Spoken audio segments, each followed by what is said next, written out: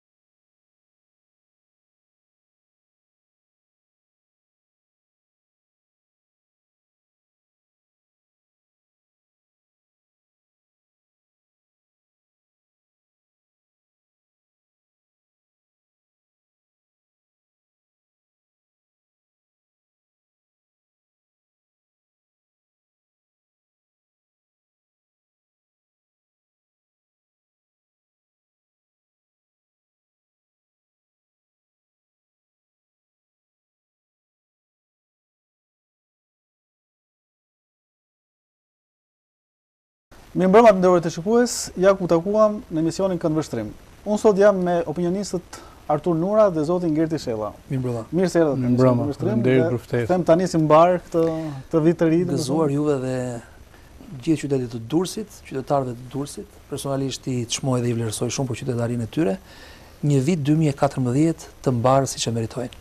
Faleminderit. Edhe unë në mënyrë dëshirore pavarësisht se mendoj që nuk do të jetë pa vështirësi ky vit, po sigurisht i sugjeroj çdo njërit ta lexojë më racionalisht realitetin qoftë dhe i vështirë. Qëndrojmë tek vështirësitë, zoti Muera. Ka hyrë në fuqi tashmë paketa e re fiskale, si do ndikojë ajo tek qytetarët shqiptarë? Po, parimisht, domethënë, ata që e kanë ideuar mendojnë që do ndikojë pozitivisht.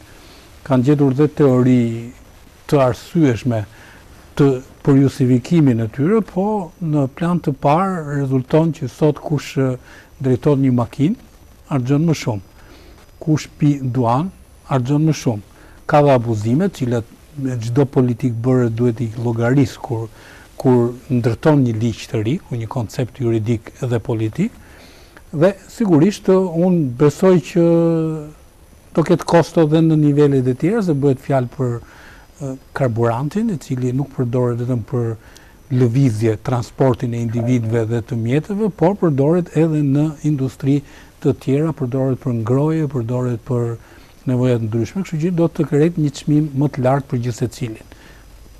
Pra, fillimi është i vështirë, ata që e kanë ideuar thonë që do të sjellë rezultate, por derisa të arrijmë ke rezultatet ne jemi detyruar të pranojmë fillimin e vështirë me urimin e Gertit për ta pasur më të mirë të ardhmen e këtij viti pra me mënyrën jo thjesht dëshirore po qoftë qofshim ne të gabuar dhe jo ata të cilët po aplikojnë një paketë të re fiskale e cila si çdo e re sjell edhe objekcione po nëse objekcionet janë të arsyeshme ose jo është koha që do ta vërtetojë. Unë besoj që po. Unë sjell do të dojë mendimin tuaj? Ë unë do të dëshiroja që të huazoja një mendim të vyer të sjellë nga një bashkëqytetar juaj durrsak dhe patëm mundësi ta diskutonim edhe dy minuta përpara se të fillonim programin, në një prej diskutimeve model të zhvilluara në kontekstin e qytetit të Durrësit për paketën fiskale të qytetit.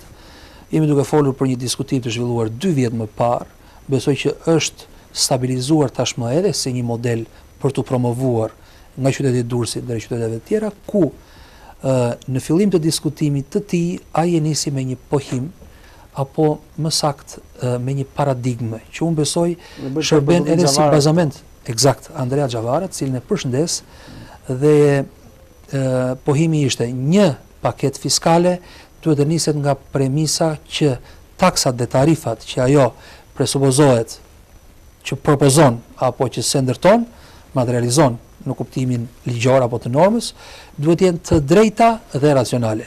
Ç'do me thënë të drejta.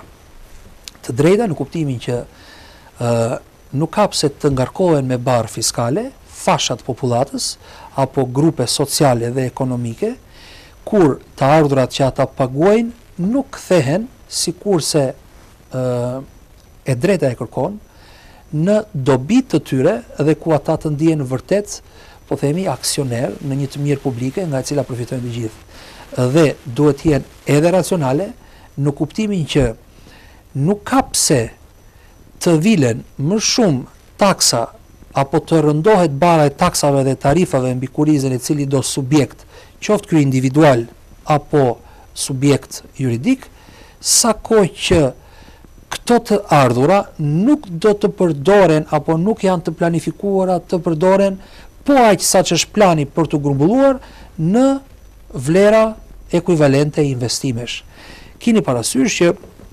në qoftë se doni të qëndrojmë edhe tek bashkitë, problemi kryesor i implementimit të buxheteve, ku komponenti më i rëndësishëm ndoshta është të ardhurat që përcaktohen nga paketa fiskale, është se gjithmonë në fund të viteve ka dështime, dështime serioze të rëndësishme në planin e investimeve, që do të thotë që Tendenca për të rritur çdo vit taksat dhe tarifat nuk mbështetet dhe nuk justifikohet dhe përvoja e ka tashmë të provuar këtë rrethanë në lidhje me aftësinë e tyre për të përcjellë këto të ardhura të absorbuara në investime pra që shkojnë në dobi të taksapaguesve.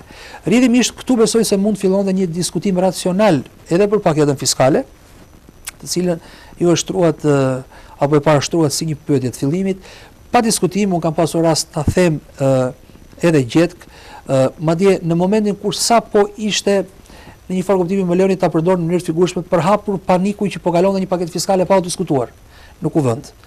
Ë mandej madje po, në tejkalim panik i arsyeshëm në tejkalim të afateve ligjore që parashikojnë strategjinë e kësaj qeverie mungesa e diskutimit të problematikës pra vendosmëria për ta bërë fakt të kryer, është qëllim në vetvete apo jo, mbetet të kuptohet. Por fakti, fakti qëndron Kjo paketë fiskale është diskutuar dhe miratuar vetëm në javët e fundit të muajit dhjetor, ligji ka bërë të tjera parashikime, duhet në mos gaboj java e tretë e shtatorit apo e tetorit për ta konkluduar paketën fiskale dhe kërkon detyrimisht një diskutim në Kuvend.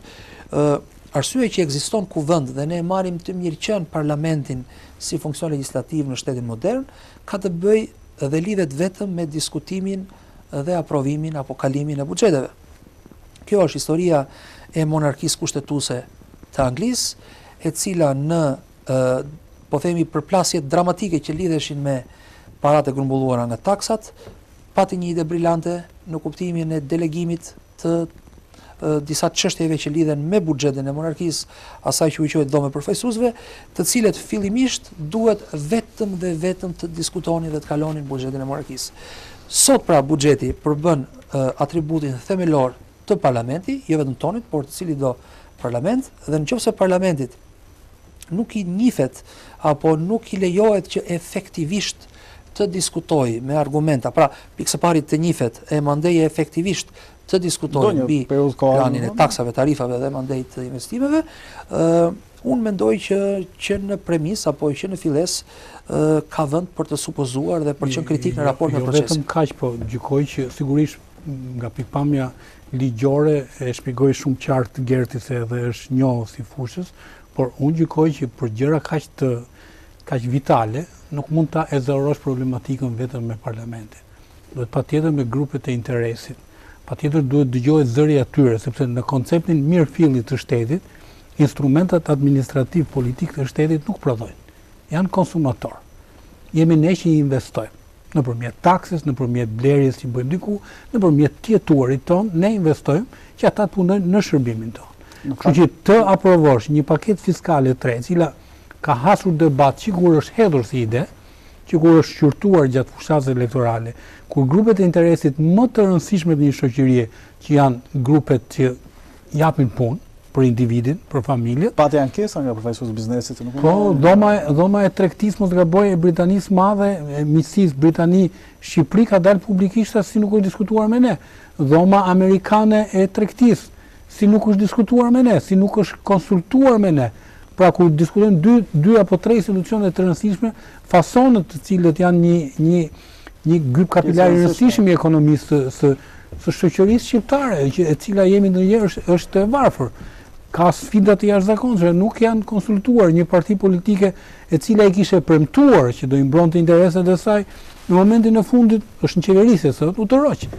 Dhe kanë lënë ta ridiskutojnë në një kohë të dytë qëndrimin politik të kësaj partie, pra Lëvizjes Socialiste për Integrim, e cila i kishte premtuar Pas thonë, ka patur një dialog të të gjerë të të kësaj partie me këtë grup interesi. Ka lënë një dritare të hapur, domethënë. E kanë lënë një dritare të hapur, të shohim sa do ta sa do ta ta të kalojnë këtë dritare, sepse por ka një dritare të mbyllur përfundimisht dhe që duket ose të paktën personalisht parapëlqej ta përfshij veten time në këtë grup të supozuar të njerëzve të cilët kanë një qejfmbetje në raport me këtë paketë fiskale që ishte pyetja juaj dhe që ka të bëjë me taksën e karburantit e kam thënë, e rithem dhe përfitoj nga rasti ta rithem që çdo pretendim ë lidhur edhe me përkujdesje të shtuar në raport me shëndetin e individit, me obesitetin, në qoftë se dëshironi, ndoshta ose duhet të ishte punuar më mirë për ta argumentuar siç duhet, dhe kjo është në rastin më të mirë, ose nuk arrij të kuptoj logjikën dhe më lejoni të jem ë përveçse serioz ë të përfshij dhe ndonjë tonalitet tjetër në mënyrën e parashtrimit të atij që mund të përbëjë një objeksion timin se në kushtet kur ka një merak që ka një obesitet dhe ku identifikohet si shkaktar karburanti i lirë që jep më shumë kilometra për të njëjtën sasi parash për një makinë në të cilën rrinë ulur njerëz, pse nuk është menduar që më parë të taksohet apo të akcizohet suflaqet. Ë Çfarëdo lloj hamburgeri? Ku kam përshtypjen e gjithë bota bie dakord që janë shkaqe parësore të obesitetit. Pse nga ana tjetër ka një ë po themi dorë të zgjidhur në raport me produktet e shportës. Dhe ju të gjithë e dini që tek shporta futet buka. Ku të gjitha studimet provojnë dhe kjo mund të duket dhe mund të duket si një rregull të themelor të obezitetit. Është ndër shkaktarët me glutenin në mos gaboj Artur që prodhon Ë, pra është vija e parë dhe e fundit që duhet sulmuar kur vjen çështja në luftën po, po, pa dyshim nuk nuk besoj se vlen të, sepse ai ka qenë një justifikim dhe, i dhe pse nuk u taksua çokollata pse nuk u po, taksua çokollata nuk, nuk ja vlen ta diskutosh jo, kjo është çështja justifikim në qoftë se ka qenë arsye e mirëfilltë ka qenë justifikim në një në qoftë se ky është justifikim që do të thotë që është i pasinqert është i pasinqert në këtë rast patjetër Dhe kjo i shtohet problematikës së po, paketës fiskale. Po ne sot kemi një qëndrim zyrtar të, të shoqatës së transportit publik. Si mund të luftosh obesitetin pa taksuar çokollatën? Si mund të luftohet obesiteti pa taksuar ushqimet e thata? Si mund të luftohet obesiteti pa nxirë më parë apo pa e bërë të pasuportueshëm çmimin e blerjes së një hamburgeri. Mua më duket që është e padrejtë ta diskutosh, ta diskutosh. Unë dua të jem i shëndetshëm më shumë se duhet, mua më pëlqen ta ha çokollatën dhe ti të ma kufizosh, është shkelje e drejtës time për të vendosur, të ma kufizosh. Kështu që në këtë pikëpamje është patjetër e gabuar.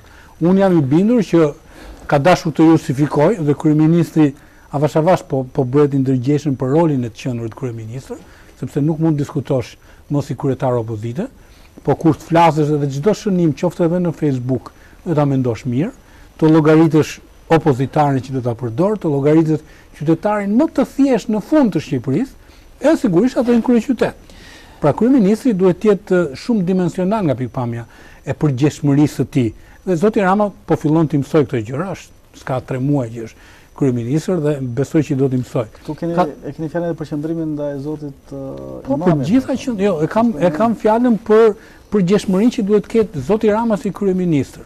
Ndaç në ekzekutimin e politikave të caktuara, por në mënyrë të veçantë të deklaratave të caktuara. Ka vetëm një justifikim për zotin Rama, në qoftë se më lejoni, po. ta, uh, ta marrim e ta përcjellim argumentin, uh, që Kategoria konsumatore e drejtuesve të automjeteve, për fatin e tyre të keq, është ndoshta nga më të pagrupuarat dhe të paorganizuarat, çka mendoj se e ka bërë të pamundur zoti Rama, megjithëse mund të ketë pasur vullnetin e mirë për ta konsultuar paraprakisht, për ta thërritur një përfaqësues të këtij grupimi, i cili, për nga pasioni i madh që ka për drejtimin e automjeteve, Edhe për shkak të një mungese apo mostemi dyzet vjeçar që e bën pa diskutim një ë ndër nëse doni ta quajmë dhe lodrat e preferuara të shqiptarëve, po makina mund të konsiderohet e tillë.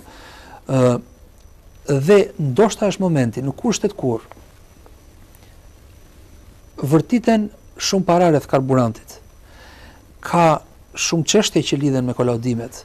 Ka një problematikë të thellë që lidhen me çështjet e gjobitjes së drejtuesve të automjeteve, që këta të fundit të gjejnë një mënyrë për t'i dhënë një mundësi kryeministrit apo ministrit të Brendshëm apo cilido që me padurim po pret të komunikojë me këtë grup interesi, që kjo bisedë të zhvillohet dhe ndoshta tanimë në kushtet e një ndërveprimi midis dy palëve të ketë një logjikë më harmonizuese në raport me barrën që tingëllon e pasuportueshme dhe që fillon që nga karburanti, vazhdon të kolaudimi, vijon me gjobat për të valuar mandej me po themi arreste që implikon alkoolin e shumë gjëra të tjera dhe shikoni në themel në themel të këtij grupi që i jep të drejtë zotit Rama në këto politika domethënë parimisht Filozofia e së majtës edhe e Partisë Socialiste është që t'i marrim më shumë taksa shtresës së pasur për t'ia shpërndarë shtresës së varfër.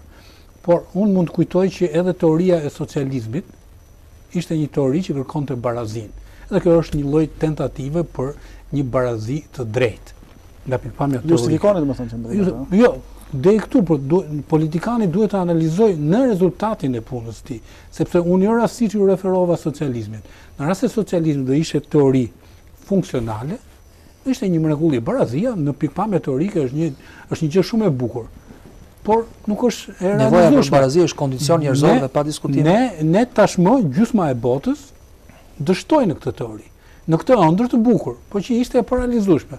Kështu që duke iu referuar kësaj, jo rastësisht solla ekstremin e dështimit të teorisë socialiste pra barazisë midis njerëzve, ku të gjithë do të hanim me lugë të florinjtë, ishte fabula që i tregonin sekretarët e partive në popull, dhe të gjithë do punonim sa kishim mundësi dhe do hanim dhe fitonim sa kishim nevojë, rezultoi e gabuar.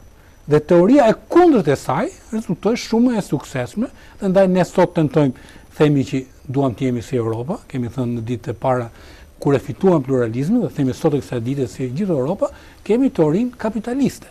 Socializmi dështoi i jemi referuar kapitalizmit.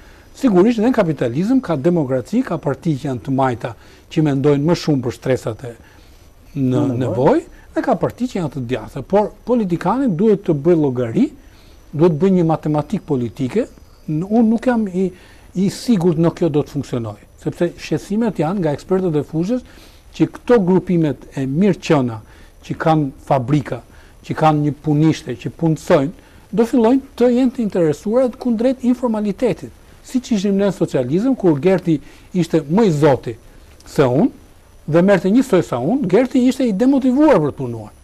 Edhe kjo gjë, ky fenomen, unë e sjell në metaforë, por jam i sigurt që do të ndodhë, ne tashmë kemi sot ka dalur shoqata e transportit publik duke kërkuar rritjen e çmimit të biletës së urbanit dhe në për sa dëgjova unë me krejt arsye. Argumenti qëndron pa diskutim. Kostoja e shtuar për, për kompanitë private është shtuar me shtimin e naftës.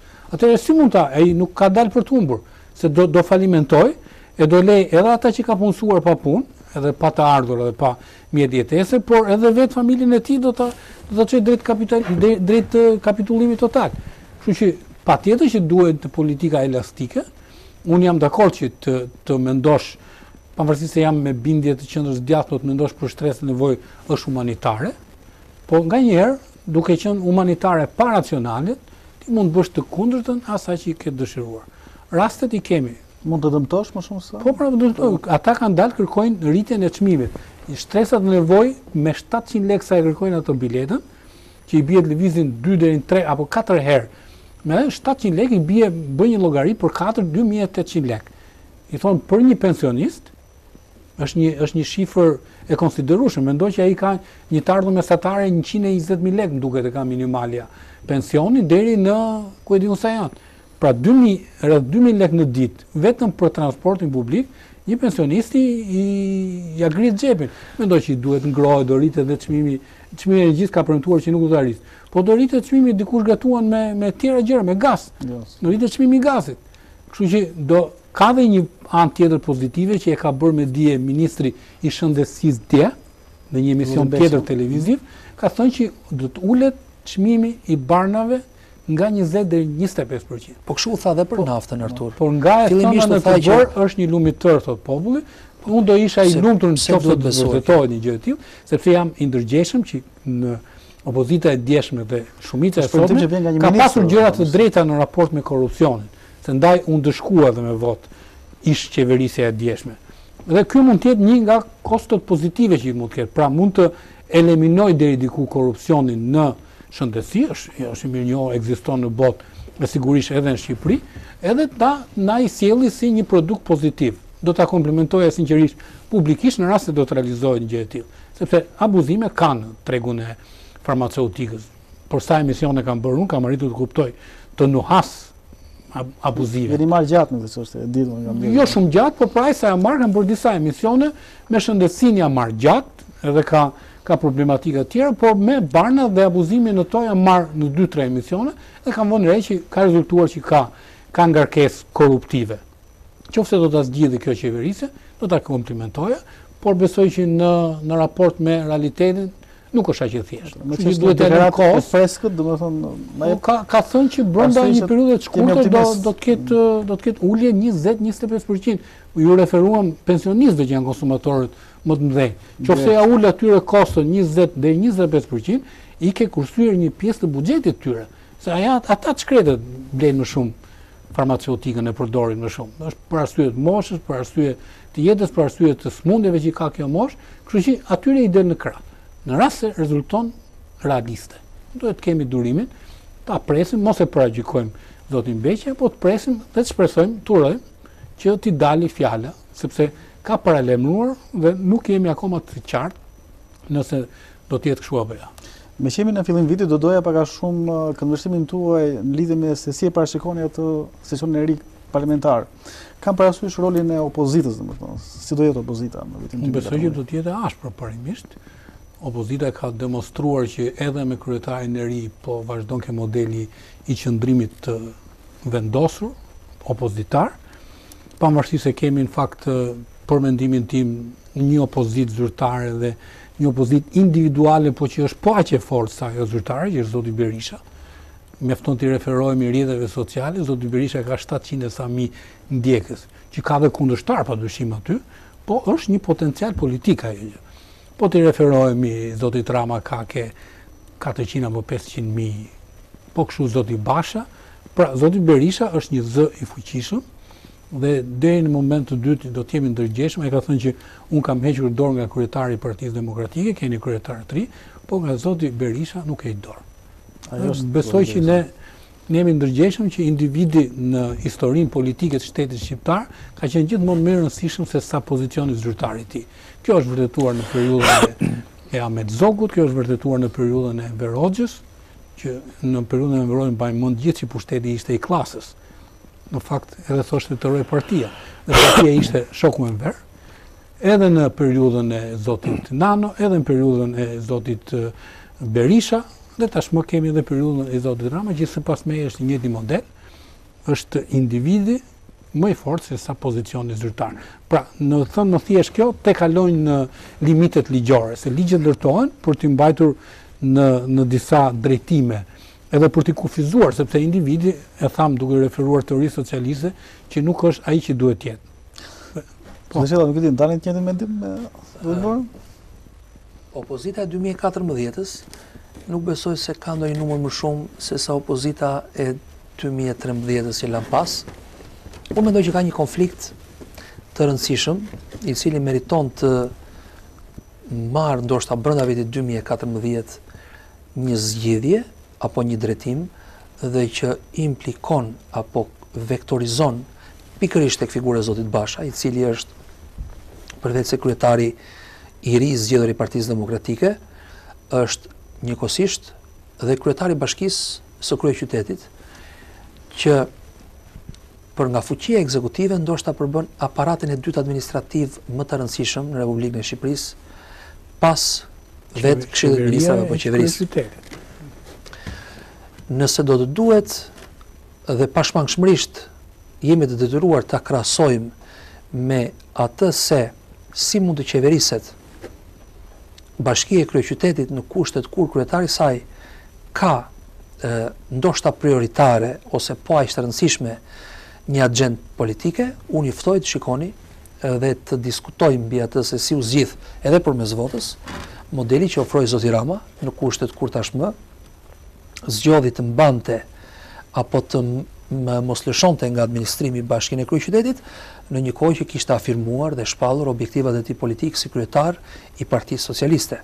Qytetarët në votimin e fundit për pushtetin vendor vendosën që ta lironin nga kjo barrë e papërballueshme në atë kohë sepse ishte kryetari... konsumuar zoti Rama, ëh, kishim tre tre legjislatura rresht, kështu që pa dyshim. Vetë zoti Basha premtoi në dhe besoj që ka qenë një premtim i bukur, i cili i ka prodhuar edhe avantazh që ndryshe nga kundërshtari i tij me të cilin garonte dhe që besoj fitorja ndaj tij promovoi shanset e tij për të qenë sot kryetari i partisë demokratike, ai do të qëndronte ekskluzivisht në respektim të mandatit si qytetari i parë i kryeqytetit, që nënkuptonte mosmiksimin e këtij mandati me asnjë axhendë të karakterit politik.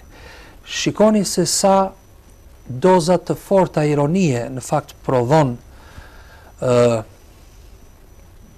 aktualiteti, historia, quajeni si doni, historia e afërme, ku me sa duket në krye të Bashkisë së Tiranës, sot sërisht është një kryetar i cili në opozitës, siç është. Është kryetar i Partisë Demokratike sot në opozitë, që nuk kupton që në një vlerësim objektiv asgjë nuk ka ndryshuar dhe unë jam i sigurt që në të njëjtën masë siç kjo dypërkitshmëri penalizoi zotin Rama do të penalizojë dhe zotin Basha teksa bën edhe opozitën dhe kryetarin e bashkisë, nëse ai në një kohë sa më të shpejtë mundshme nuk do të zgjidhë këtë konflikt në gjykimin tim dramatik. Me zgjidhjen e këtij konflikti bëhet i qartë edhe se si duhet bërë prej qytetarëve vlerësimi i performancës së tij publike. Pra, qytetarët sot ndoshta e kanë të pamundur dhe nuk e kanë shtruar për të analizuar nëse zoti Basha duhet vlerësuar në performancën e tij të një administratori të kryeqytetit apo duhet t'i bëhet një vlerësim në raport me performancën e tij politike si shef i opozitës. Lidhur me pyetjen tuaj se si do të paraqitet opozita në kuvend, unë besoj që për shkak të dizavantazhit të thellë të numrave, kjo është opozitë e cila është e destinuar të kënaqet me pamundësinë e saj për të qenë në pozitë të imponojë ndryshime të agjendës legjislative. Mund të kemi një film të parë, mund të kemi dalje në rrugë. Filmi përsëritet, abandonim të të punimeve të parlamentit, e cila pa dyshim që zoti Rama sot duhet ta kuptojë më mirë, ka një kosto për qytetarët, jo për politikën. Ka vetëm një alternativë në gjykimin tim modest, e cila ngelet për t'u eksploruar prej opozitës aktuale dhe që nënkupton ndërveprimin dinamik me sistemin e drejtësisë, por me sa duket viti dy mijë e trembëdhjetë e ka vendosur tashmë edhe në në po themi këto ditë të para të vitit dy mijë e katërmbëdhjetë në pozita të dizavantazhuara, pasi ajo po loz në mbrojtje përballë le ta quajmë një vullneti, nuk do të thoja reprezalia, por një vullneti nga ana e mazhorancës për të nisur procedimet penale për shumë zyrtarë ku kulmon nga pikëpamja e piramidës së zyrtarëve me zotin Imami, ish ministri i Brendshëm, tashmë edhe vullneti i mazhorancës aktuale për të pasur një përballje në duart e drejtësisë, në dyert e drejtësisë me ato që ajo i ka stigmatizuar si fenomene që meritojnë të ndëshkohen, madje zoti Rama nuk besoj se ka treguar as po themi atë diskrecionin verbal të nevojshëm në raste të tilla kur është shprehur në mos gaboj zoti Zhej ju si përdor zoti Zhej zoti Nura si përdoruesi si përdoruesi Facebook unë nuk kam një adresë Facebook-u po gjithsesi i ndjek Tashmë lajmet pasi... Ta sugjeroj ta hapësh për arsye thjesht profesionale. Faleminderit për sugjerimin, por miqtë më kanë më kanë bindur që humbja e kohës është e padiskutueshme. Jo, nëse e lejon të të të përdorë, padyshim që është humbje e kohës. Sa, po e përdore ti, është fitim kohe. Sa kohë që televizionet kombëtare tashmë referojnë ë pohime në Facebook si po themi material i dorës së parë dhe jepin dhe anunçojnë tashmë si si të shëndoshë si të marrin informacione në Facebook, pastaj na vijnë nga zyrat e shtypit. Në të gjithë ceremonialin e konferencës për shtyp, ne kemi portal informacione publikuar kur na ka ardhur nga zyra e shtypit e institucioneve përkatëse. Jam i qetë që gjërat e rëndësishme edhe pse nuk kam një adresë në Facebook, në kushtet që ndodhemi dhe me median e fokusuar tashmë të gjithë mbi Facebook apo mbi Twitter, nuk besoj se humbas ndonjë gjë të madhe.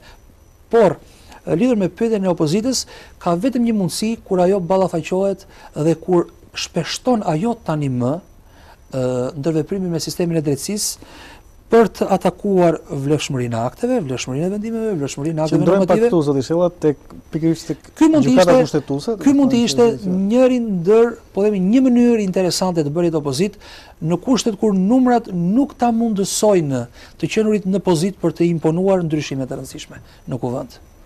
A ka një betejë tashmë të fituar nga opozita në raport me Gjykatën Kushtetuese? Akoma jo. A, i referohem ligjit për punonjësin civil. Eksakt, dhe unë i referohem po të njëjtit argument. Më argumentosë, unë jam i informuar që ka që ka fituar këtë po, betejë. Po, në dijeninë, në dijeninë, në dijeninë e të gjithëve, është bërë tashmë e njohur ajo që mund të konsiderohet dispozitivi i vendimit nga paneli i gjykatësve kushtetues që shkon në favor të pretendimit të opozitës, pra që nxjerrja e një akti normativ që modifikon një ligj të kaluar me shumicë të cilësuar është jo në përputhje me frymën e kushtetutës, por nuk kemi akoma një vendim të shpallur që nënkupton një vendim të arsyetuar siç dikton vetë kushtetuta, e Republikës së Shqipërisë, nga Gjykata Kushtetuese, çka në këtë rrethan ë nuk prodhon asnjë efekt normëzhbërës apo prishës apo negativ nga ana e Gjykatës Kushtetuese,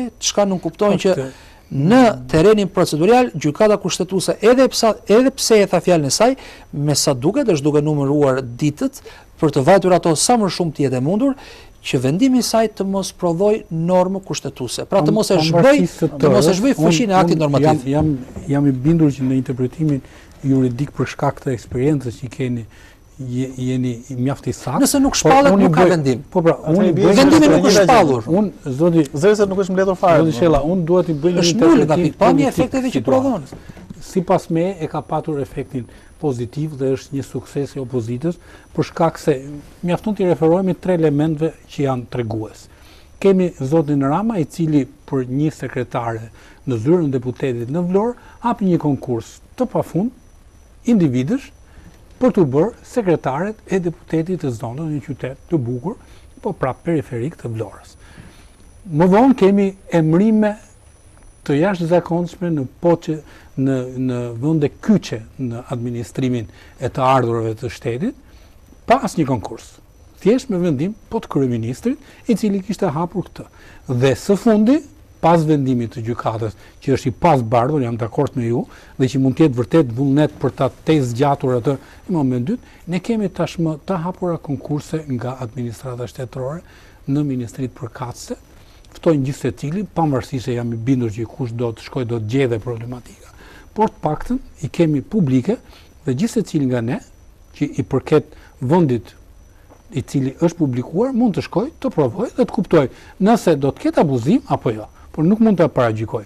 Pra është një vendim politik i kësaj qeverie i ardhur pas një vendimi juridik të gjykatës kushtetuese, i cili ndaj të njëjtin mendim me zotin Shella duhet të jetë i qëllimshëm për t'u vonuar dhe është gabim i opozitës që nuk e kërkon zbardhjen, sepse edhe ajo duhet të ketë afate ligjore, besoj nga momenti nga vendimi në zbardhje. Për fat të keq, ligji organik i gjykatës kushtetuese ka gjithçka të parashikuar përveçse vendosjen e afatit të arsyetimit dhe shpalljes së një vendimi të Gjykatës Kushtetuese që është në thelb një Gjykatë Supreme. Është një mangësi, ta bëjnë, ta bëjnë të ligjë, da jam nga ligjbërës. Është një mangësi me iniciativë opozita le ta bëj. Dhe që mos është shfrytzuar si klauzolë, do të thonë, shikoni, shtyrës sa më shumë. Vet akti normativ, vet ligji për nëpunësin civil dhe i gjithë debati që lidhet me implementimin apo jo të këtij ligji, me afatin për nxjerrjen e akteve nënligjore e kështu me radhë, është në thelb një çështje afatesh. Për të qenë e kompletuar dhe me aktin e fundit kjo dramë afatesh, duhet që Gjykata Kushtetuese të shprehej lidhur me antikushtetuetshmërinë e aktit normativ të qeverisë, por në çështjen e afateve dhe Gjykata Kushtetuese ka shumë për të avancuar dhe po na dikton të gjithëve se si e lënë në vlerësimin e gjykatësve të Gjykatës Kushtetuese Çështjet e afateve mund të trajtohen njësoj sikurse prej cilido gjyqtar në gjykatën më të humbur të Republikës së Shqipërisë. Ky nuk është një problem i ri, ky është një problem i reklamuar të paktën nga instituti jonë prej këtu e katër pesë vitesh, zoti Nura kemi pasur mundësi bashkë edhe të komunikojmë, edhe të flasim mbi këtë problematikë. Ka pasur edhe në studio më përpara.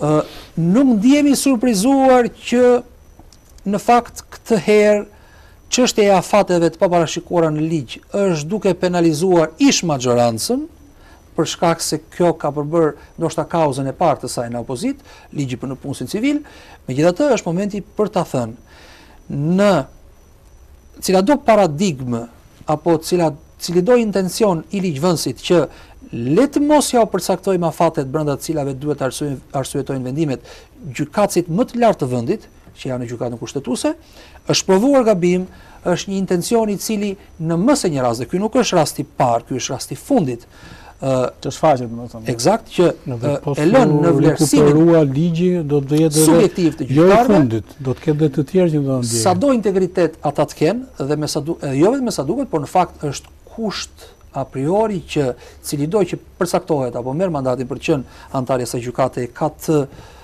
garantuar integritetin profesional dhe moral, është vetëm çështje kohe për ta shkelur. Duhet përcaktuar me ligj. Ligji për gjykatën kushtetuse në vendin tonë fqinj në Itali ka lënë ndoshta gjëra pa thënë krahasuar me ato që ligji shqiptar i ka, por afatet i ka përcaktuar. Afatet është kategorik dhe nuk lëshon pe në çështjen e afateve, pasi tek afatet përgjithësisht qëndrojnë të gjitha thembrat procedurale të Akilit. Qartë, qartë, duhet patjetër reagim. Atëherë se mund të me fitore, apo humbje të opozitës? Gjykata kushtetuse është konjukturuar në vlerësimin tim. Nuk besoj që ndajnë në fitore dhe humbje këtë. Sa kohë që ne kemi 4 vjet beteja. Vetë qeveria nuk ka kërkuar shtyrje të efekteve të ligjit më shumë se sa marsi që vjen për 25 ditë.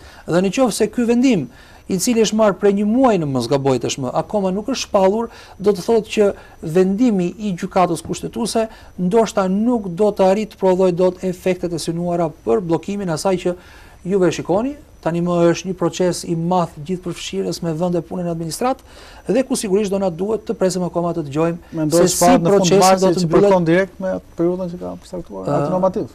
Me një sukses të jashtëzakonshëm. Jo, sigurisht ne e kemi thënë në këtë studio që nuk mund të ndahen gjërat me thikë, edhe në rastin e administratës jemi të ndërgjegjshëm që ish qeverisja kishte futur militantët e saj, njerëzit e saj. Kjo është një praktikë e ndodhur gjithë këto vite pluralizëm, dhe ata që qeverisin sot, sigurisht do duhet të bëjnë disa axhustime në këtë.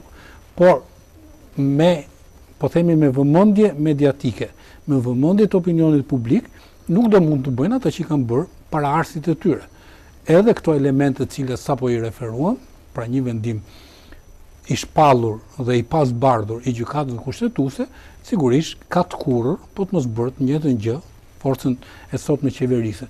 Ndoshta nuk është performanca e duhur e Partisë Demokratike dhe partive të tjera të opozitës për shkak të problematikës që kanë brenda. Kryetari i kësaj partie është i ri në opozitë, nuk ka eksperiencë. Besoj se tashi ka filluar të mësojë edhe skutat e infrastrukturës së partisë së tij, nuk besoj se i ka njohur më parë, ka pasur portofole ministrore. Është një eksperiencë për të domethënë. Është një eksperiencë e re që duhet fituar. Unë e shoh me, personalisht e kam parë dhe publikisht në një shkrim Me perspektivë, zotin Basha, kujtoj të gjithë i referohen rastit kur në një miting popullor për armët iu ngjir zëri, pati momente dobësie, po kush ka, po themi, kujtesën e gjatë, unë jam me kujtesë relativisht të gjatë, në vëmendje e kam shumë cilë, mbaj mend zotin Rama në mitingun e parë, kur konkurronte për herë të parë në kryeqytet si kandidat për për të qenë kryetar bashkie, kam parë të shqetësuar kryetarin e Partisë Socialiste për mënyrën si komunikoi zoti Rama me publikun, i cili pas disa ditësh në një emision televiziv kërkoi ndjesë për ekzaltimin e madh që pati. Të njëjtat simptoma. Po. Pra, mos ka qenë me simptoma të po, ndryshme, po, po eksperienca e parë ne jemi të ndërgjegjshëm ju kur keni dalë për herë të parë në në studio sigurisht keni patur emocion. Mund të keni pasur edhe ndonjë lapsus më shumë se sa keni sot. Unë personalisht sa herë që dal në transmitim, momentin e parë kam një, një emocion të caktuar dhe e kontrolloj. Pra këto janë eksperiencat e një. Mbaj mend në 8 djetor, Zoti Basha, në mm, eventin përkujtimor që bën për themelimin e Partisë Demokratike, të gjithë të pranishmit thirrën Sali Berisha. Të gjithë të pranishmit thirrën Sali Berisha. Askush nuk thirri Lulzim Basha. ama e kontrolloi situatën në mënyrë shumë më të mirë se sa mitingu për të cilin ju referuam dhe në fund i bëri të pranishmit që janë militantë partie, drejtues partie që sigurisht e kanë të vështirë për tu për tu ambientuar me dikë që është i ri, që nuk ka eksperiencën e atij të vjetrit, që është mjaft dinamik, mjaft i gjallë, dhe që po ama në fund i bëri për vete sallën.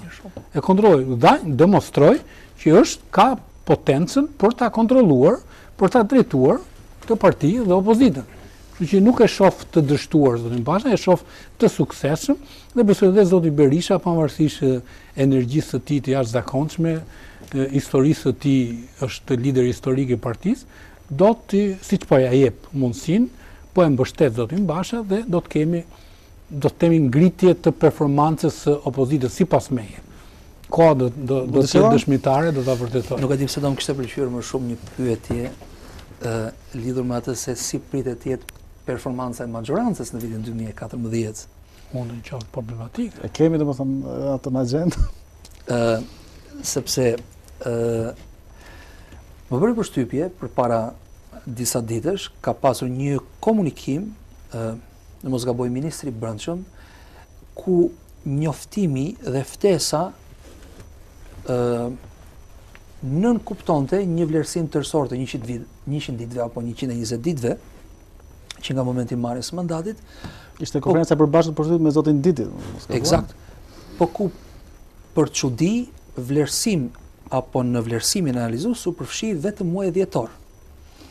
Dhe kjo në fakt përbëri apo kishte ë apo la të habitur një numër gazetarësh me të cilët pata mundësi të komunikoj, sepse ë realisht diçka nuk vinte në po themi ngushtimin e vlerësimit të një periudhe mbi 4 mujore, në atë që ishte vetëm një analizë po themi numerike, statistikore, e një muaji, që edhe nga pikëpamja statistikore nuk thotë asgjë krahasimisht apo me incidencën që mund të ketë pasur, po themi një muaj, një viti pararendës të vendosura në këto peshore statistikore. Unë mendoj që majoranca ë vërtet në kushtet kur ë nuk po hyj të analizoj shkaqet, pasi do të kemi kohë dhe do të kuptohen shkaqet e vërteta, nuk vonojnë ato të dalin. Ka bërë një shmangje të rëndësishme nga aksi i premtimeve të saj elektorale, sikurse që në fillim të bisedës ne mund të kemi prekur dy apo tre prej tyre, çështja e karburanteve ë dhe çështja e po themi barrës fiskale apo dhe taksave nëse doni, janë shmangje të cilat kanë surprizuar edhe vetë socialistët krahasimisht me atë çfarë verbalisht ju ishte përcjellë dhe normalisht kishte kultivuar pritshmëritë e tyre në raport me... Dhe t'ju ndërpres, a lidhët po. kjo me një artikull të The Economist i cili parashikon trazira gjatë këtij viti këtu në Shqipëri. Në fakt The Economist ishte ai që i parashikoi dhe shqetësimin e senatorëve, më zga boja, apo jo, brenda Partisë socialiste. Edhe sigurisht nëse i rikthehemi kujtesës kolektive dhe publike, edhe trazirat e nëntëdhjetë e shtatës, një organ britanik që nuk e mbaj mend nëse ka qenë The Economist apo jo, i cili foli për gangsterë në qeveristje, i cili foli për trazira të ardhshme, që ne na u dukën çudi kur i dëgjuam për herë të parë.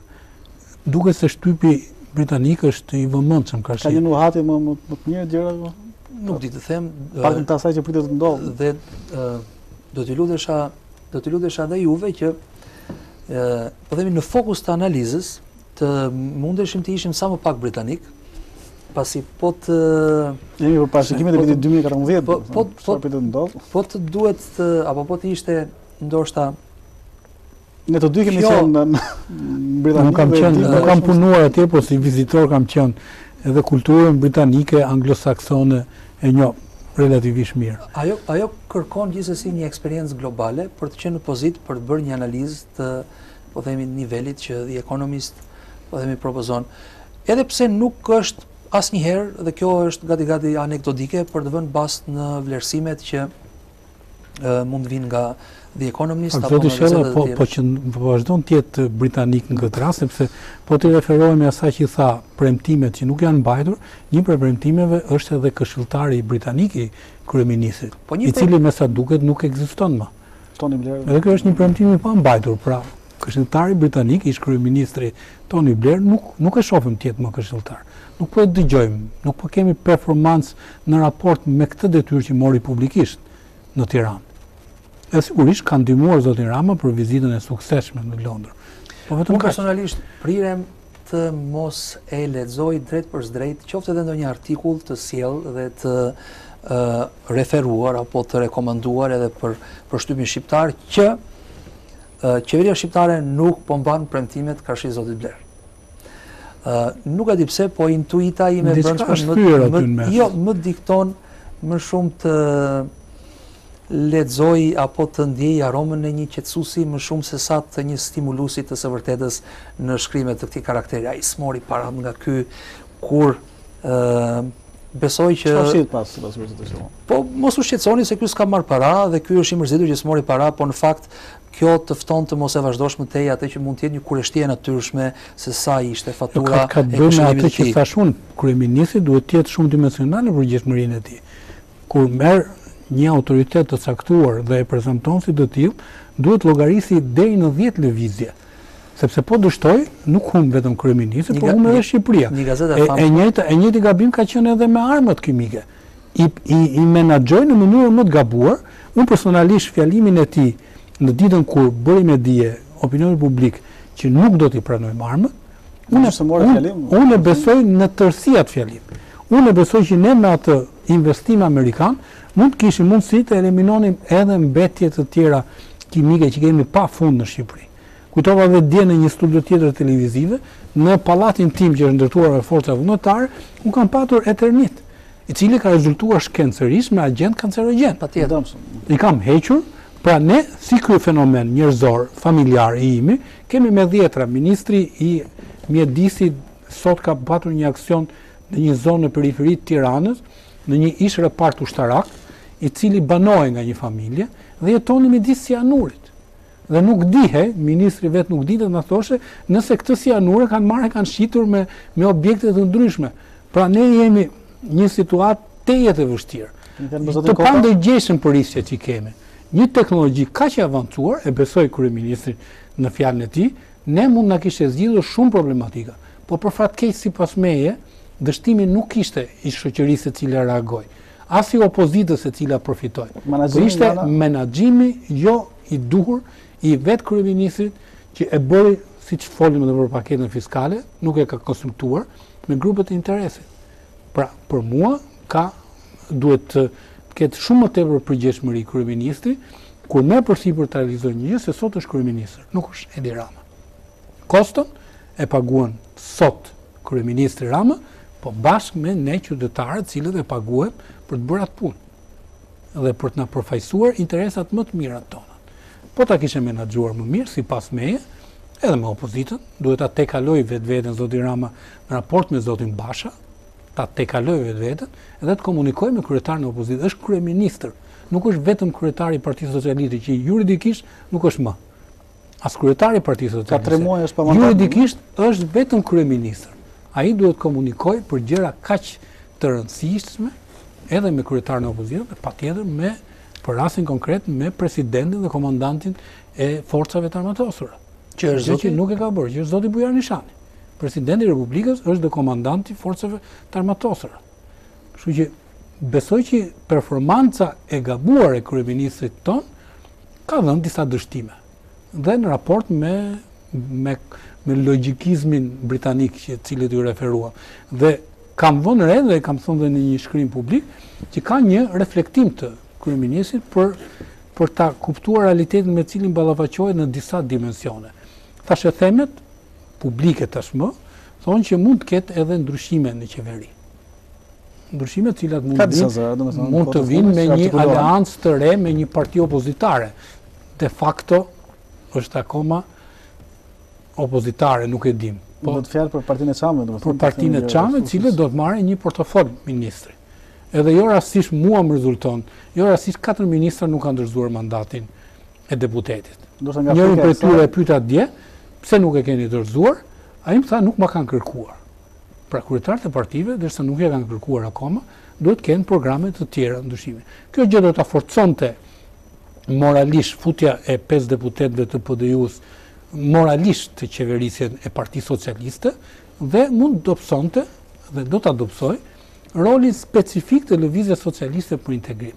Rol i cili ka vendosur deri tani kush do të qeverisë Shqipërinë. E bëri katër vjet të shkuara dhe këtë fillim kë fillim katërvjeçari.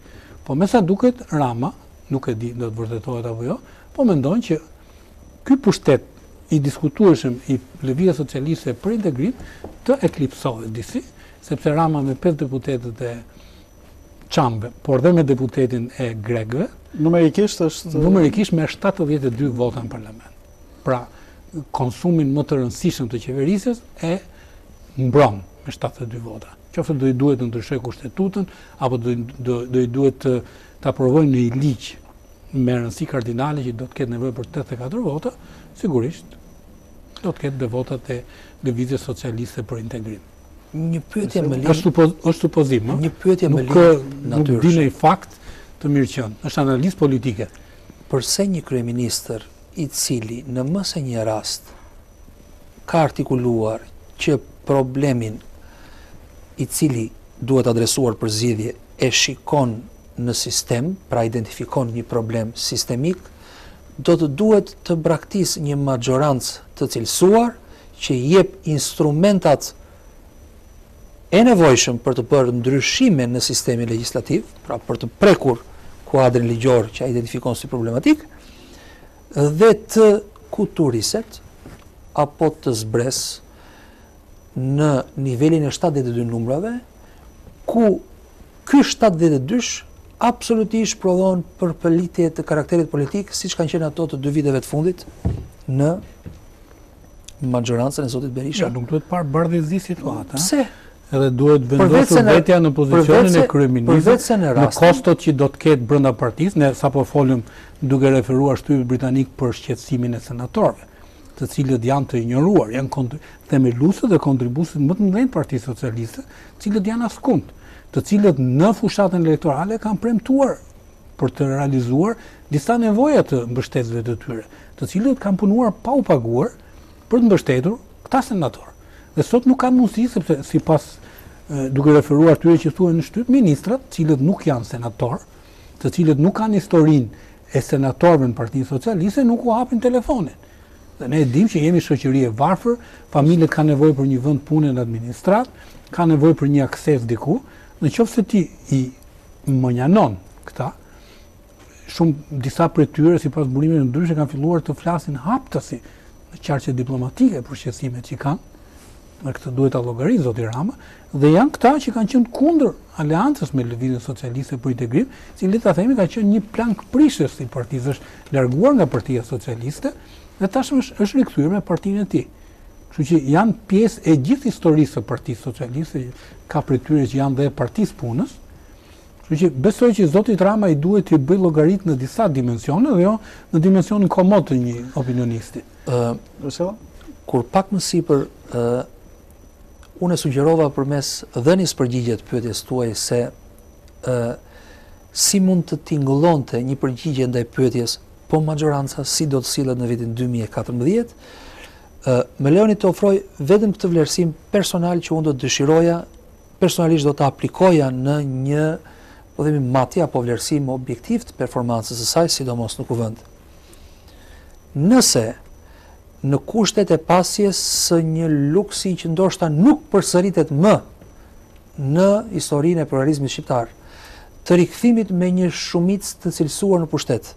Dhe kur vetë kryeministri është i ndërgjegjshëm dhe i vetëdijshëm që problemet, si ato që lidhen me korrupsionin, me performancën ekonomike te nëmurat, janë të karakterit sistemik, mos ndërhyrja në sistem që nënkupton amendime ligjesh, propozim ligjesh të reja, të cilat i japin ekzekutivit instrumentat e duhur për të punuar me problemin sistemik, Për mua do të përbënte që në vitin e parë kalendarik të plotë të qeverisës aktuale, dështimin më glamoroz edhe krahasuar me premtimet e pambajtura që janë të sendërtuara në një program.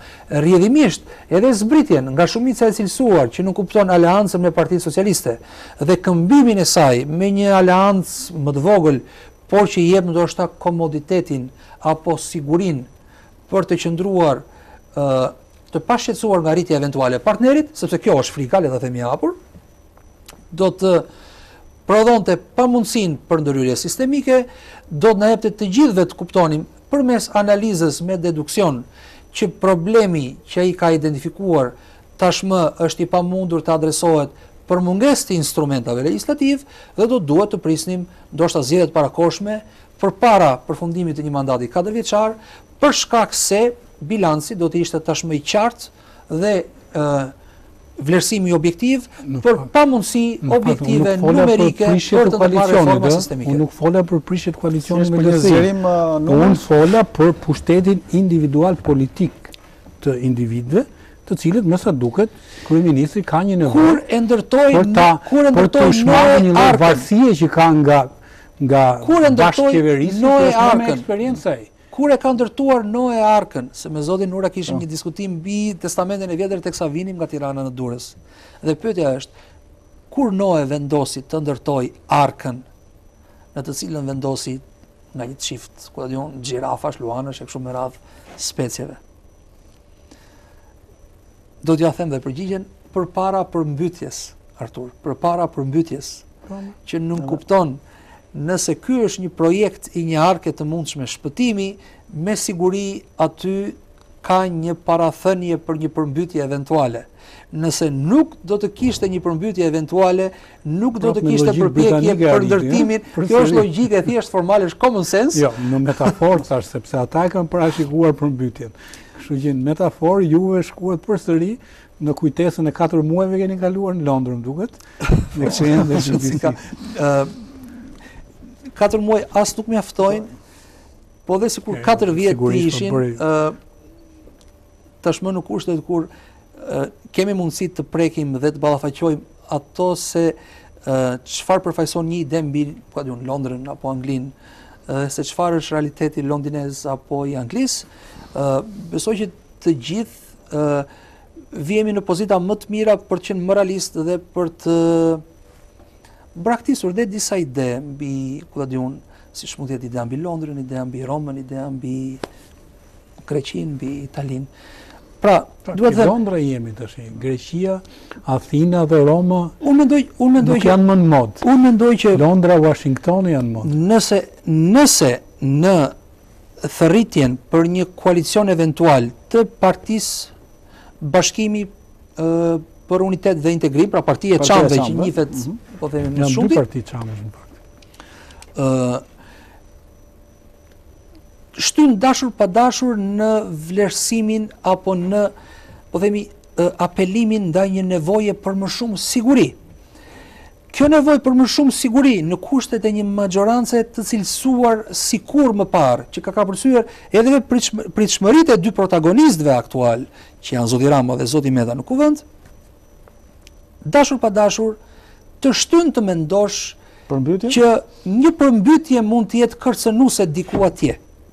Dhe kjo përmbytje në vlerësimin tim, nëse do të ndodhë, do të ndodhë për dy aspekte rigorozisht të vlerësueshme.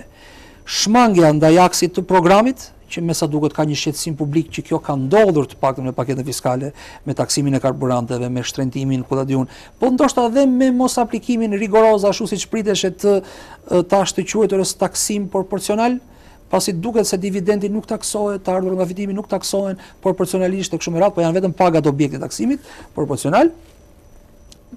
bashkëlidhur apo në sintezë me humbjen eventuale për shkak të rivaliteteve të brendshme brenda llojit dhe ta dini dhe besoj që ky është një fakt që ne e kemi kuptuar në këto 20 vjet që rivalitetet brenda së majtës janë më të majisura dhe më të mprehta krahasimisht me rivalitetet e të djathtës që nuk ka tërhequr që në momentin e formimit të saj, po themi histori gërryese që lidhen me përvojat para viteve 90. Pra, frika nga ky realitet dhe thërritja e një aleati më shumë në këtë koalicion, ë në kushtet kur mund të shmangesh edhe nga ndërhyrja për të bërë ndryshime në sistem, do të parathërriste një përmbytje.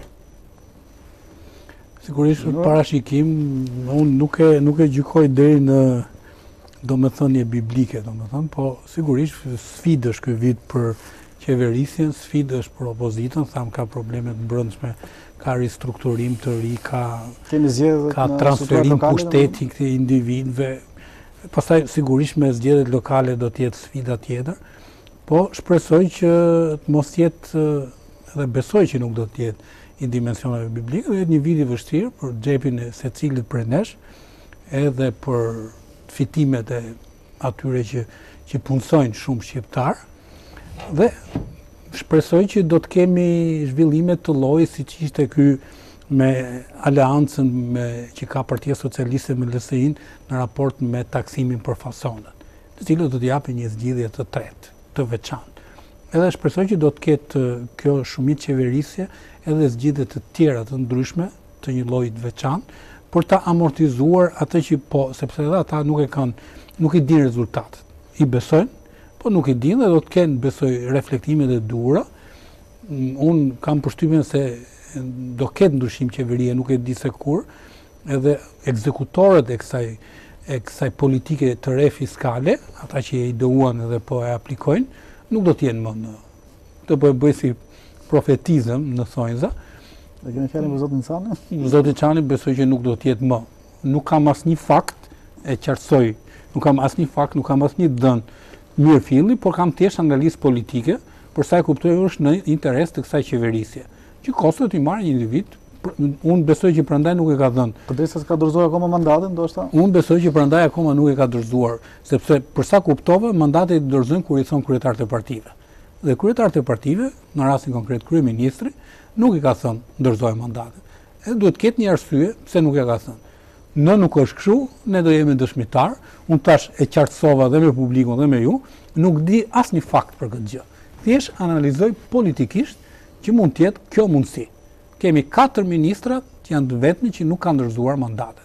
është Zoti Tahiri, ministri i brendshëm, është zoti Shkëlqim Cani, është zoti Lefter Koka, edhe një tjetër, nuk e di se cili nga ministrat e tjerë është, që nuk e kanë dorëzuar mandatin, unë besoj që ka një arsye politike në këtë, nuk ka pse të dorëzohen me etapa të ndryshme, nuk besoj që është vështirë zëvendësimi i tyre në parlament, ka në rastin e LSI-së ka një specifikë që zoti Panariti duhet ta marrë njëherë mandatin, sepse është në numrin e caktuar në listë, dhe ta po, ridorëzojë mandatin te tjetri, po këto janë gjëra fare të parëndësishme, nuk besoj se përbëjnë këto motivimin për të mos e dorëzuar mandatin të gjithë në grup.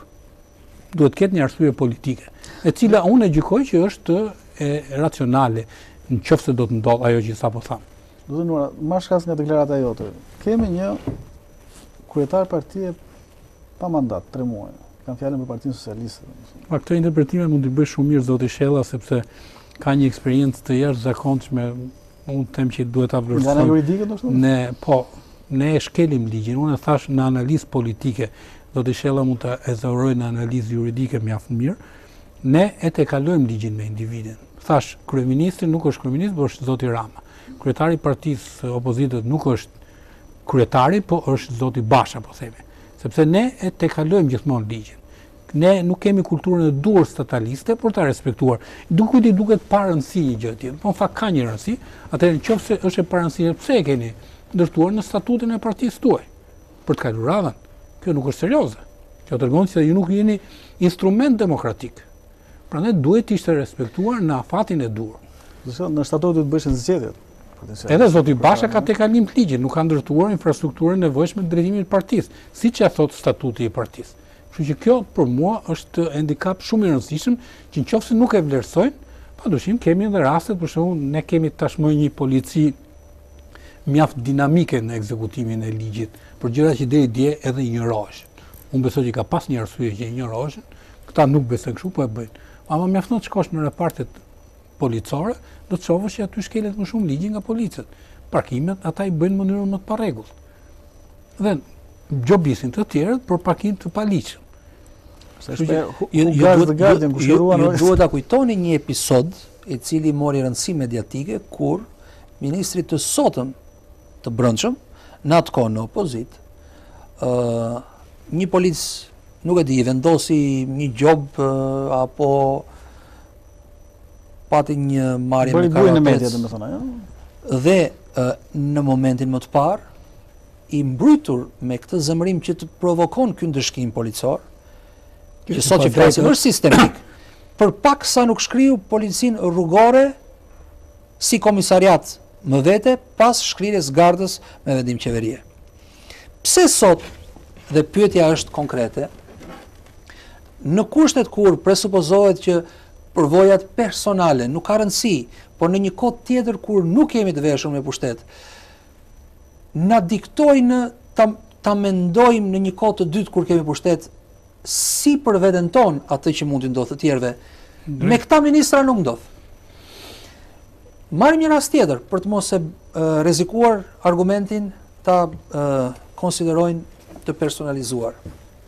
Shqetësimi parimor i opozitës së djeshme, e cila u mandatua pas zgjedhjeve të qershorit për të qenë shumicë në kuvend dhe për të mandatuar kryeministrin e saj për vendimet absolutisht arbitrare të marra nga qeveria në periudhën e tranzicionit të pushtetit. një pjesë e të cilave madje u anulluan me vendim të Këshillit të Ministrave jo më larg se para një muaji apo dy muajsh e gjysmë.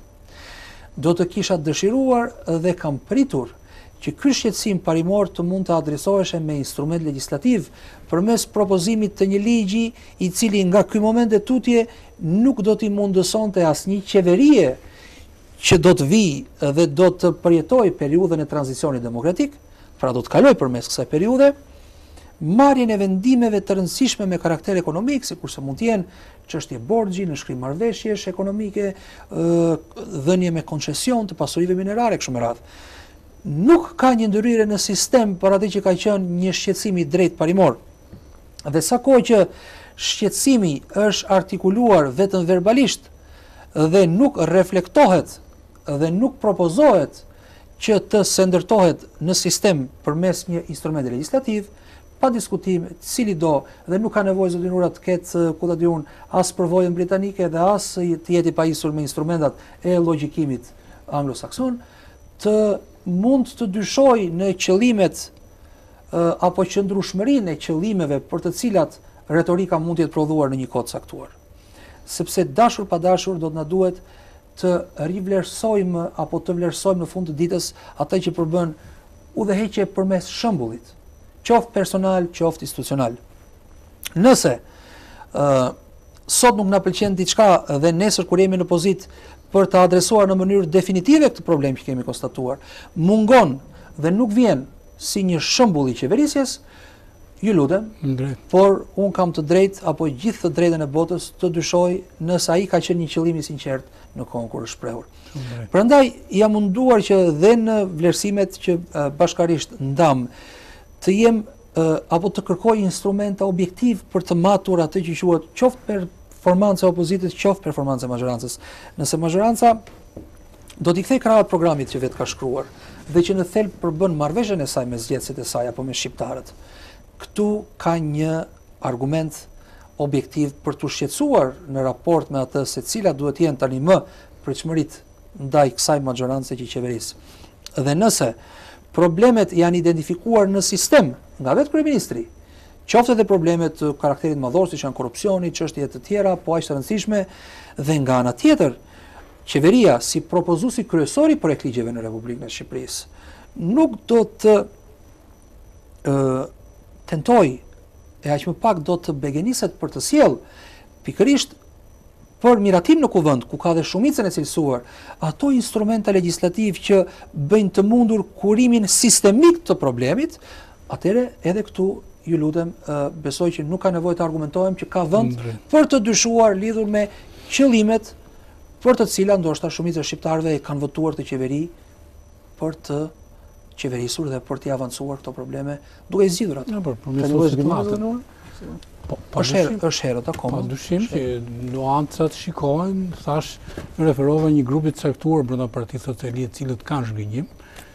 Disa prej tyre e mbajnë disa e nxjerrin në ambiente informale, disa kam për ta nxjerrë me siguri shumë shpejt edhe në publik, nuk mund t'i kontrollojë më zoti Rama, ose duhet bashkëpunojë me ta, varet nga përgjegjësia e tij, njerëzit, të cilët tash ju referuam tash në qoftë se pensionistët, asa ata që përdorin transportin publik, do të detyrohen të paguajnë 700 lek biletën, do të kenë zhgënjim, Kjo kishte ata që do ta rrisin çmimin kanë arsye për ta rritur çmimin, se ndryshe do falimentojnë. Nuk ka si të bëjnë ndryshe. Po ka dhe ka dhe diçka tjetër. Në vijim të argumentit, ë i vetmi investim politik që një votues në një sistem demokratik bën në periudha periodike, 4 vjeçare, 3 vjeçare kështu me radhë, është përmes votës së tij e cila ofrohet jo kundrejt një në kontrate të nënshkruar, po kundrejt një kontrate verbale. Do të emancipohemi dhe besoj që do të ofrojë planeti modele kur në fakt premtimet elektorale do të jenë të sendërtuara në kontrata notariale, po notariale po të mirëfillta. Dhe shkelja e tyre mund të prodhojë pasoja për palët, por nuk kemi shkuar akoma deri atje. Dhe s'të ngelet vetëm se me kalimin e kohës të bëjmë vlerësimin e konsistencës së premtimeve. Po marr një rast tjetër, ë që ka qenë ë shqetësimi më se i drejtë i opozitës së atëhershme lidhur me konfliktin shumë të shprehur të interesit për atë që është njofur apo përfshihet brenda fabulës së fëmijëve të kryeministrit, të ish kryeministrit të asaj kohe. Do të kisha mirëpritur që një ndër aktet e para legjislative të kësaj shumice të cilësuar të kishte qenë një ligj që e ndalon një herë e mirë në sistem konfliktin e interesit në kushtet kur po themi persona të veshur me pushtet ekzekutiv prodhojnë dhe raste nuk ka pak dhe në këto 4 muaj për familjarë të tyre. Për shembull, ë në qoftë se nuk do të dëshironim të merrnim për shembull çështje që kanë të bëjnë me sekretarë të përgjithshëm në ministri që mund të jenë kunetër, familjarë e kështu me radhë, ë Për sa i takon kabinetit qeveritar, po marrim shqetësimet shumë serioze të ngritura nga një e përditshme shqiptare lidhur me avokatin e popullit lidhur me një shkelje flagrante të ligjit për konfliktin e interesit. Mund të jemi pak më konkret? Po flitet lidhur me projekte apo shikoni, ta bëjmë më të thjeshtë. Jo, Abstraho dhe nga vëllai. Kam ndjekur e kam lexuar atë. Bëhet fjalë që e cila nuk është ndjekur nga shtypi tjetër dhe sigurisht duhet të ketë një arsye. Mosndjekja e një lajmi që parimisht duhet të përbënte bëmë, tregon që nuk ka seriozitet në në këtë, duhet, me, duhet parë me, me zë për zë dhe nuk, të paktën duke iu referu profesionit tonë. Nuk ka përgënjeshtrim, nuk ka përgënjeshtrim. Po kur, kur gjërat janë, domethënë, jo, jo, jo. vetëpërgënjeshtruar, nuk ka pse të ketë përgënjeshtrim. Nuk mund të ketë gjërat të vetëpërgënjeshtruar. Unë e lexova me shumë vëmendje, janë një sërë artikujsh të përditshëm, të cilat thonë të njëjtën gjë me fjalë të ndryshme, edhe kërkojnë ta ta përdorin edhe politikisht duke duke marrë një mendim të një politikani opozitar thjesht ku përderisa më thua kështu pa e certifikuar ata, unë besoj që duhet të jetë një flluskë sapuni, personalisht flas, fakti që shtypi tjetër nuk po merret me një lajm i cili nëse do ishte vërtetë duhet të kishte mbushur të gjitha gazetat, besoj që duhet të ketë një arsye të mirëqenë që kjo ndodh. Kështu që të mos abuzojmë personalisht, të mos abuzojmë te një gjë e tillë. Në mënyrë të përmbledhur, ë e përditshme ka përshkruar një relacion i cili nga intim kthehet në institucional në kushtet familjare të avokatit të popullit. Pra jemi duke folur për bashkëshorten që nënshkruan memorandum mirëkuptimi me bashkëshortin, por jo si bashkëshort, por si avokat i popullit në kontekstin e implementimit të projekteve XY e kështu me radhë. Dhe sa ko, dhe këtu kam një objekcion në raport me parashtrimin tuaj, e vetmja garanci e së vërtetës të paktën në mjedisin mediatik shqiptar, është plurimediatizmi i mjedisit ku media normalisht vibron një media për shkak të një do themi qëndrimi editorial të sjell një informacion por këtë nuk e sjell një media tjetër e cila mund të ketë një prapavijë tjetër editoriale apo një interes të caktuar ekonomik apo personal jemi të detyruar që çdo informacion që vibron në këtë mjedis plurimedial të mos e injorojmë për shkak se ky mjedis plurimedial garanton të vërtetën dhe do të isha shumë më pranë jo, dhe do të kishte qenë shumë më pranë standardit standardit në mënyrë profesionale thashë domethënë një gazetar ka për detyrë të marrë dy burime kur nuk i vjen dhe burimi i dytë në raport me lajmin në fjalë më mirë mos e boto pra nuk ka dy burime që certifikojnë lajmin ne kemi bërë shumë për zakon që me një burim me një thënë kafe ta nxjerrim lajm Edhe certifikohet nesër që nuk është lajm. italian për ashtu. Ky është po, problematikat në gazetarinë shqiptare janë të jashtëzakonshme.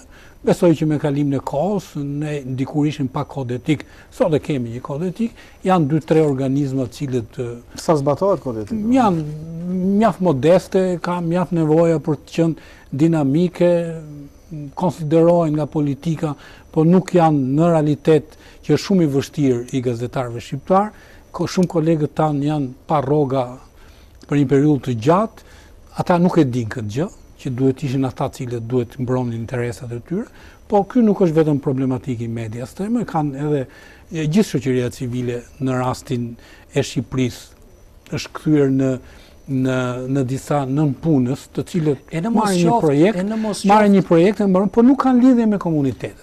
në filozofinë e organizimit civil janë grupe vullnetare, të cilat mungojnë tek këta.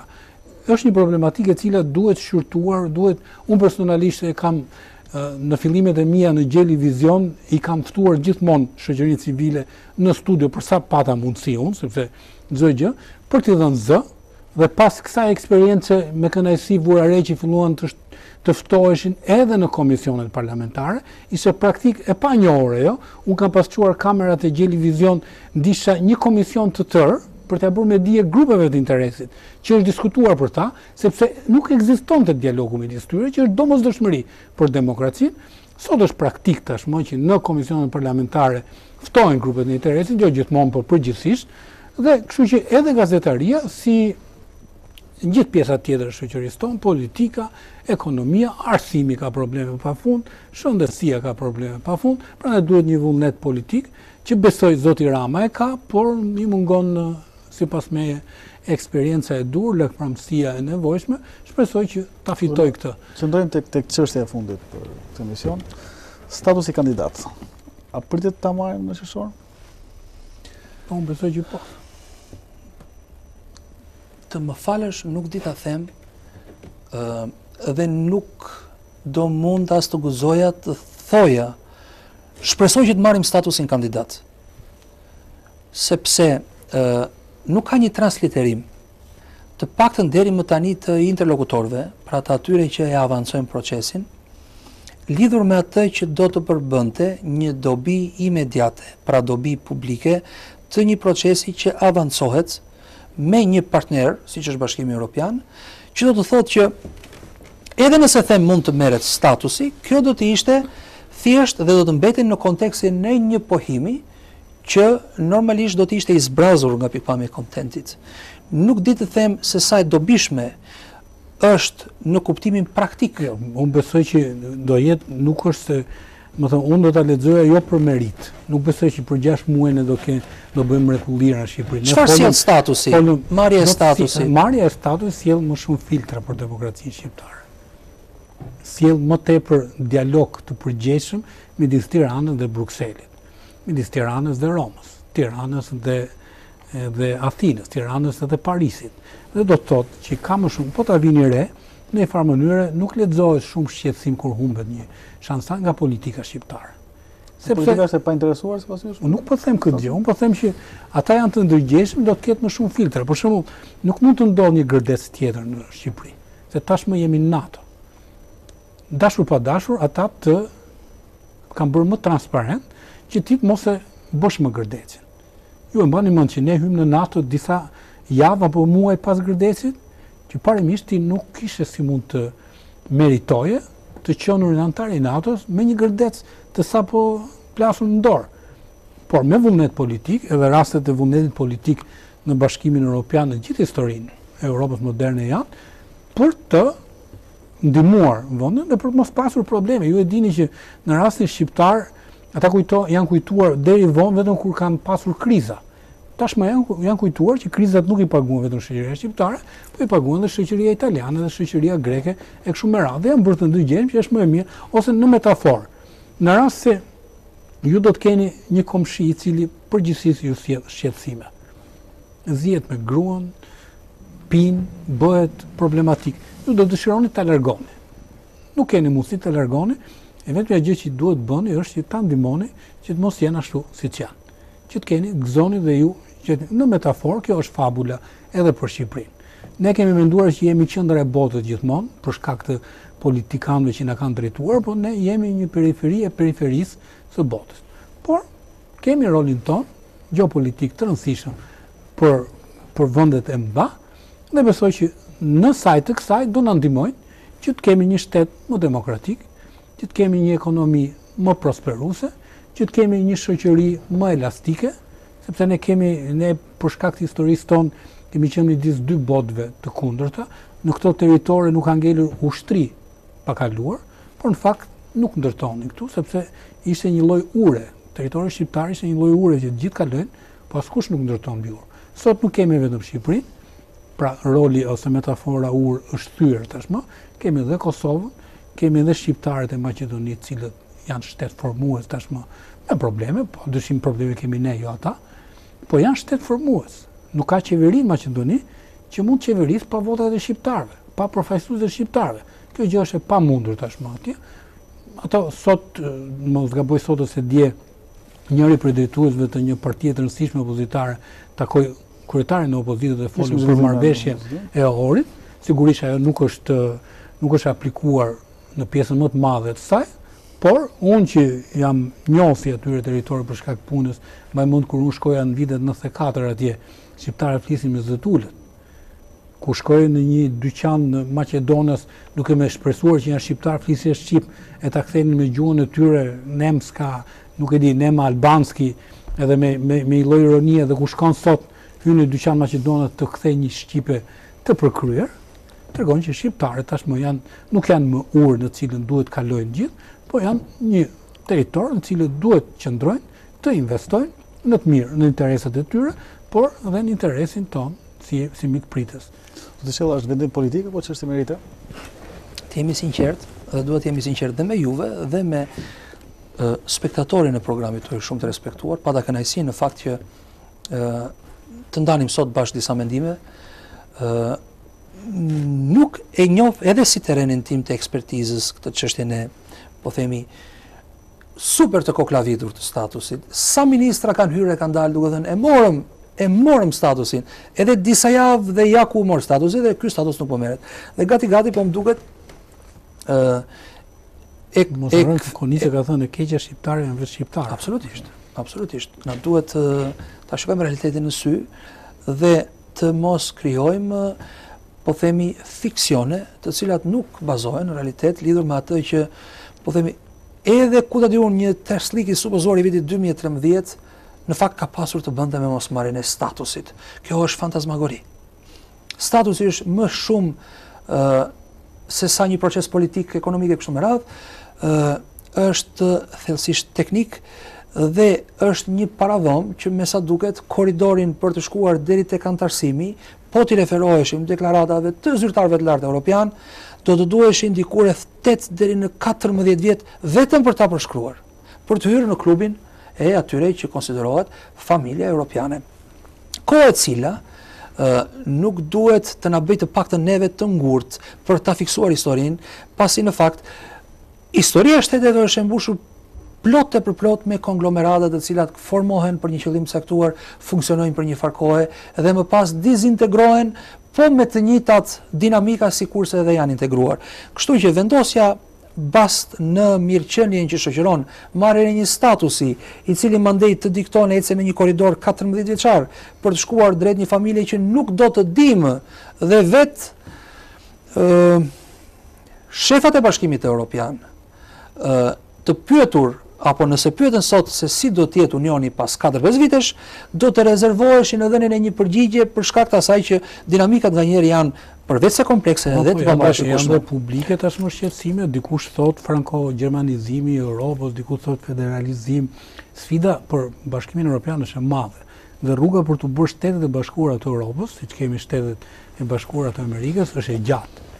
Por ne, unë nuk, unë nuk besoj që ne do të shkojmë në Europë kur të bëhen Shtetet e Bashkuara të Europës. Ne do jemi në këtë rrugë, njësoj si vendet e tjera, me rolin tonë modest, specifik, sepse jemi komshiu, të cilin ata e duan si vetja dhe nuk e duan të kenë me probleme. Është e thjeshtë. Pastaj, ana teknike e tha shumë bukur, për ta lexuar duhen pafund, kështu që besoj që gjërat bëhen shkallë shkallë në mënyrë më organike dhe më të mirë.